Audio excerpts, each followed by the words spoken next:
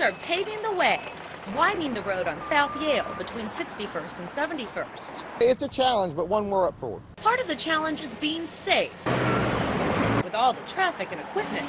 They're all going to be in steel-toed shoes, uh, wearing safety glasses to prevent eye injuries, gloves when needed to be. Russell Gentry is Tulsa County's safety and training specialist and has seen the county's workers' comp rate drop over the past eight years. He says the key is prevention.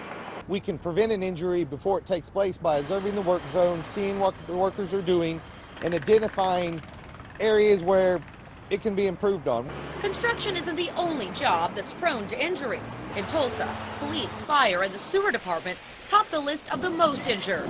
Workers' comp is a huge expense, too, costing the city $27 million over a three-year period. We've tried. We've gone through and had training classes. We've tried to get everybody's attention on how we need to do things better, uh, uh, what we need to do to watch ourselves, uh, to not be injured, etc.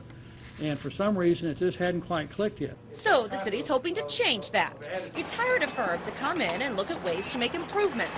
Leaders hope to cut the workers' comp expense in half in three years. We all need to buy into the concept that safety pays. And pays in more ways than one for those who travel the roads and those who build them. Healthier workforce, happier workforce.